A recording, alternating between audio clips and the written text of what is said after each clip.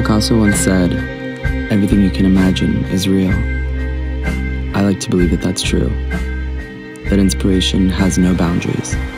Whether it's forecasting tastes and trends in the ebbs and flows of the contemporary art market, or amassing a collection of exceptional art, my work never ceases to lead me to new and unexpected heights. My name is Daniel Sierra Dominguez, and I am an art dealer.